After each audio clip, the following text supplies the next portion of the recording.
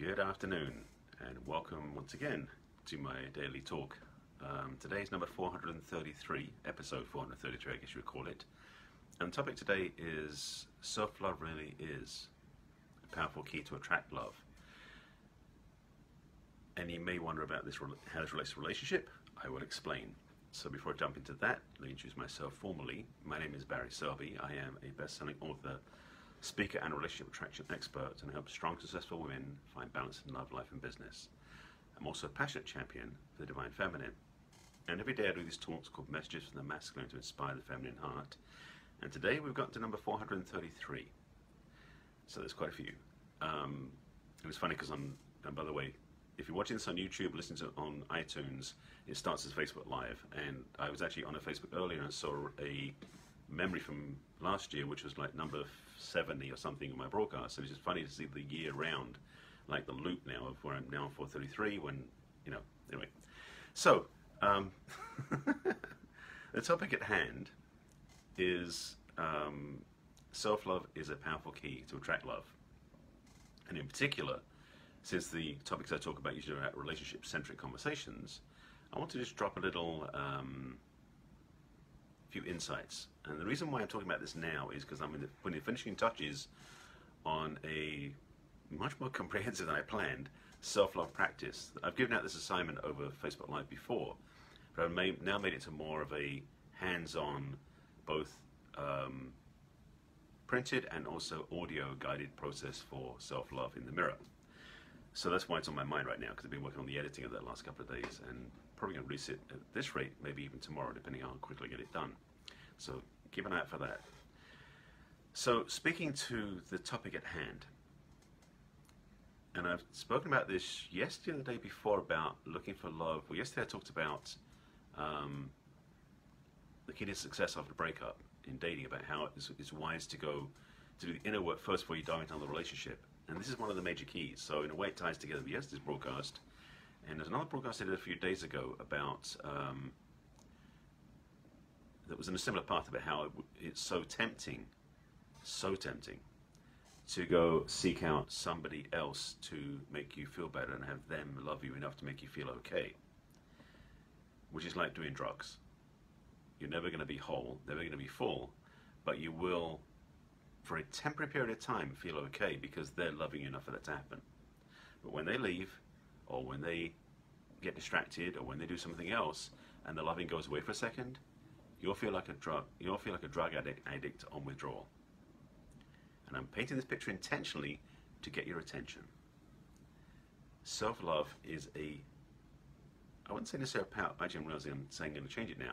Not so much a powerful key to attract love, it's really a fundamental requirement to have a healthy relationship with anybody. So this actually transcends just romantic relationships.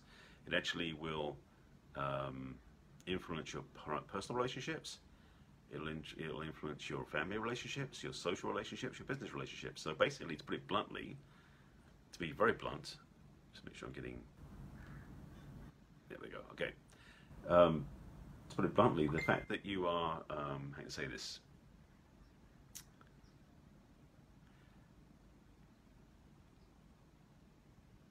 every relationship you have, everywhere on the planet, is absolutely um, influenced, that's a good word, influenced by the manner of love you have for yourself. For example, if you had a tempestuous, um, traumatic relationship with your parents, it may be very hard for you to feel comfortable around them because of the stuff they did or didn't do to you. Now, I'm not talking about you particularly, but other people you might know. Because of that, you may not have a great deal of self-love when you're in that environment.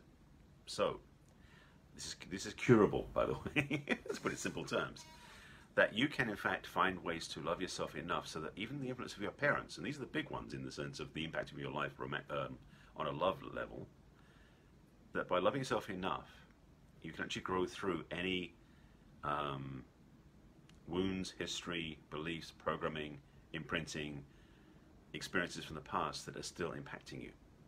So I'm realizing I went into the biggest one first, didn't I? Okay, so that's the big one.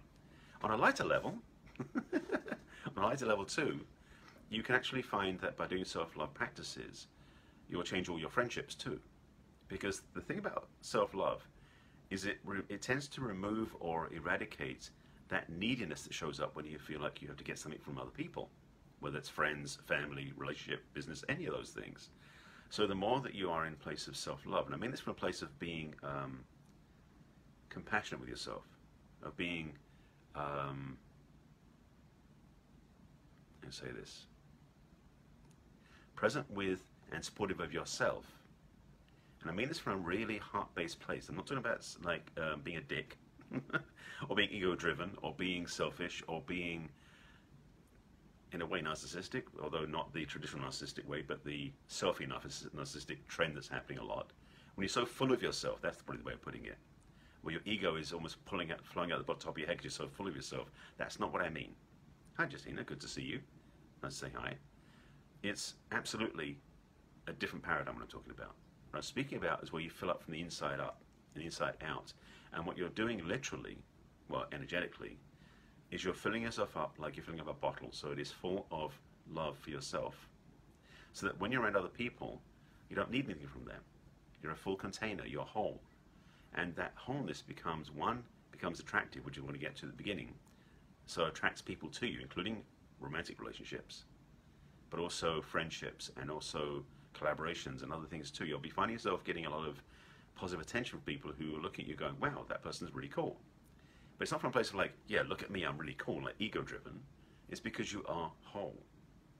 I should say, excuse me, because we're all whole, but you're exemplifying what wholeness looks like and feels like because you'll be whole by loving yourself. Good key to have. Another part of that is the paradigm of romantic relationship because we in this world love to be in romantic relationships, at least most of us do. And the challenge and the dance of the romantic relationship is we tend to fall into the um, I wouldn't say the trap, but certainly the habit of feeling that the other person's there for us and it's their job to make us feel whole, or feel great, or feel wonderful, or feel loved, or feel appreciated, whatever that is. Yes, it's nice to have that, but if you're dependent upon that, as in codependent, at some point in time you're going to be hurt. That's the way it goes. So you got a choice. The choice becomes do you love yourself enough to not need that? Because it sounds like if you do that, you won't need to be in a relationship. I don't mean that.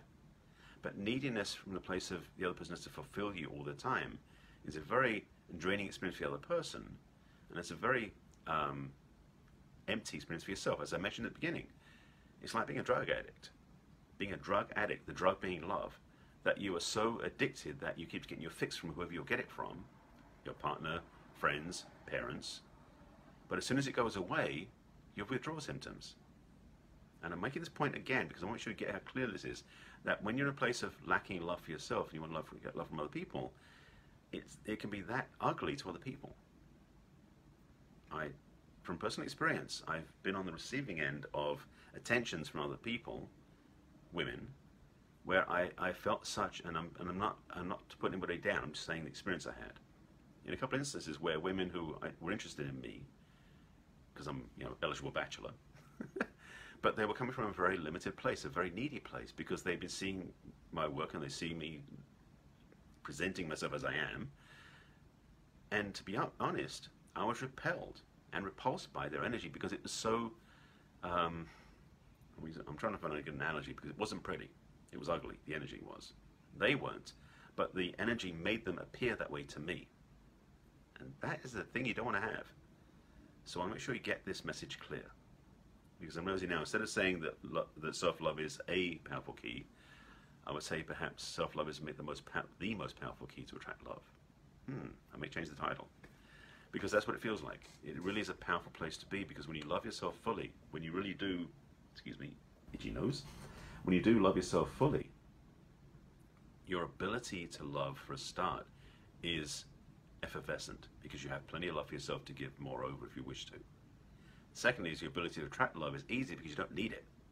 Key one of the things about attracting is you attract from a place of being okay, not attracting from you can't attract from a place of need. As convoluted as that sounds, when you need something, you generally don't get it. And if you look at your own life, you'll probably see that. But when you're actually ambivalent and you're okay with it and you just want it, like you say, I'll welcome that to my life, but not attached to it. It shows up more easily when you don't need it. Same is true for loving relationship. The more that you're in love with yourself, the more that you're a whole. Um, hang on one second, let me finish my thought and I'll come back to that. That when you're in a place where you are um, centered and loving yourself, then it invites more in versus trying to pull it in. And that's the difference. So, just in this question, when you mentioned those people had ugly energy, what does that feel like? What does it look like? That's the thing. It didn't look like anything necessarily. It felt bad. I felt this cloying, almost sickly sweet energetic that wasn't pretty. And I'm, I'm using interchangeable words, but I'm really talking about the feeling level more than the actual experience. Because, uh, I mean, if anything, I mean, the memory, okay, the memory I have of one of the women in particular, and it's not what she looked like, but it's the way I had it visual in my head because of the way it felt. I put a visual overlay on her. So let me be clear, it's not how she looked, how I portrayed in my mind because the energy I felt from her was a level of an energy of an old crone. Almost like one of those, um, like, the, like the witch of Snow White, that, that um, craving energy of pulling. Now again, she didn't look like that, but the feeling I had made it feel like that. And it was certainly unpleasant. And I know, to be totally transparent, there are women out there in the world who experience me the same way, just to be clear. I definitely have come from a place of lack many times in the past. More times than I wish to count.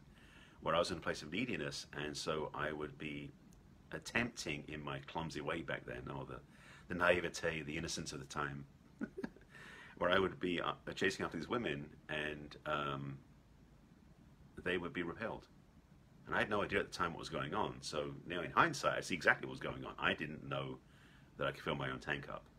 I was under the programming and the wiring back then that I needed somebody else to fill up the tank, and it's not their job, it's mine. So Justina was saying, "Oh wow," too.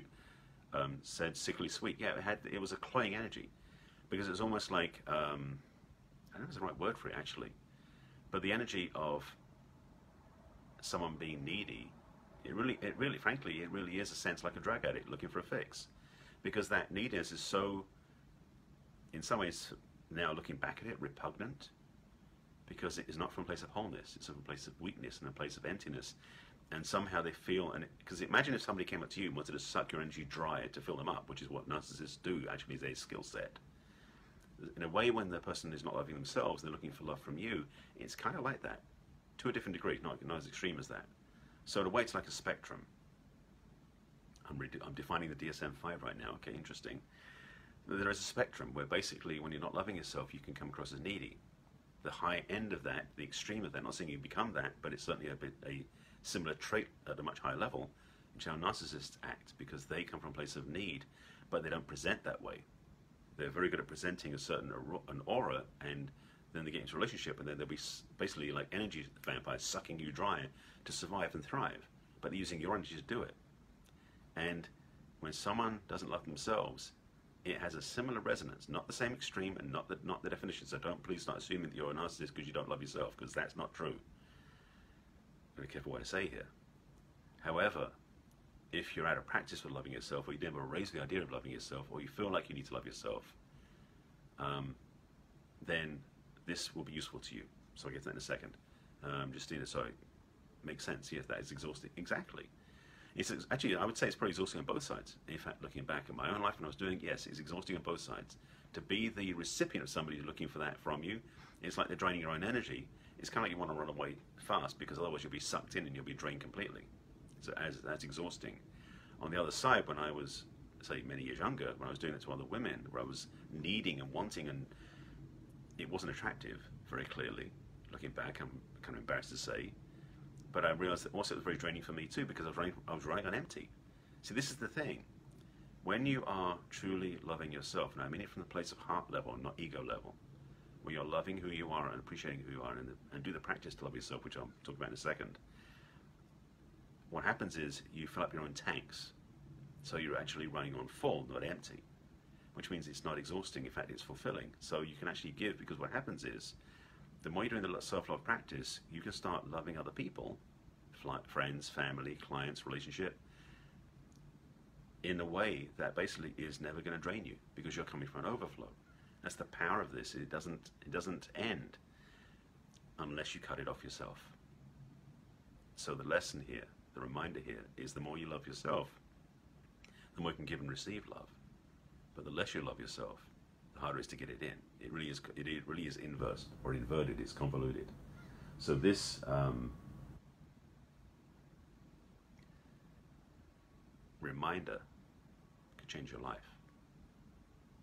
So quick, quick nudge on this. As I said, I'm, I'm finishing up the last, the finishing touch as well. It seems to be that way, of a self-love um, mirror meditation practice. It's a right now it's become a five-section workbook and an audio. So it's going to become available probably in the next couple of days. So keep stay tuned and watch for my announcements on Facebook. I don't, I don't have it ready yet. I have a page ready, but I'm not ready to show it yet. Um, keep in touch and watch my Facebook page. It'll be announced there. And if you're on my email list, you'll get a notification in a couple of days. So if you want to join my email list, by the way, I haven't done that for a while, um, two ways. One, if you want help in the area of relationship, if you sign up for a Discover session, you can sign up right there to give me, join my email list as well. If you go to barryselby.com forward slash chat, you can sign up for a Discover session, conversation, and I can help you get some action steps where you want to move forward, and also see if we want to work together. Again, it's barryselby.com forward slash chat. So that's my discovery session. Or if you go to my website, which is my, again, my name, barryselby.com, and on the first page you land on is the video series, you can sign up for the video series for free. And right there, you can sign up for the email list there. So either way, you can get on my email list, so you'll be notified about the self-love practice, which will be coming out in the next few days. Um, I will probably do a Facebook Live about it when it comes out, but I wanted to talk about it today because it's on my mind. And I hope this has been of use to you because this, um, this lesson, this teaching, as a principle, it's a life changer, a game changer, and a relationship changer. And as a practice, it will actually level up your life in a whole other way. Now, there are many different ways of self-love practices. I'm just, I'm just providing one in my new program. Program. It's not a program. It's a practice. But it will get you going. So, your homework, should you choose to accept, is to learn ways to love yourself more than you have before. If you want to use my program when it comes out, feel free to do that. Excuse me, my practice when it comes out. It's not a program. It's smaller. It's a practice. These fancy words. And if you are, um, if you have other ways to do it, do that. The main thing I want to remind you is that if you love yourself more, you'll attract more love. That's a formula that works. Okay? Um, if you haven't seen my broadcast before, by the way, I do this every day at 5 p.m. Pacific time. This is my daily service to give advice, information, support, inspiration. Uh, message from the masculine to inspire the feminine heart is the full title of these broadcasts. Number 433 is today. These you can find on my business page on Facebook, which is where I put them after I finish doing them on my personal page. So that's barryselby.author on Facebook. They also get repurposed onto YouTube, so you can watch them there. I've got a whole library on the on uh, YouTube, which is Messages from the Masculine is the playlist, and Barry Selby is my channel, so you can find them there. And I'm building out my library on iTunes. So I have a podcast on iTunes called Messages from the Masculine. We can sign up right there to get them and subscribe. I'm adding about 10 a week. Um, so catching up slowly, but it'll take a while. But you can get those there, and if you're driving around, you can't watch, my, watch the screen, you can listen to my podcast and listen to them back to back to back if you wish. Um, that is it. You know where to find me, you know how to reach out if you want help, um, you know what to do. Let's take care of yourself, of course. And with that, I will see you again tomorrow. Take care. Bye.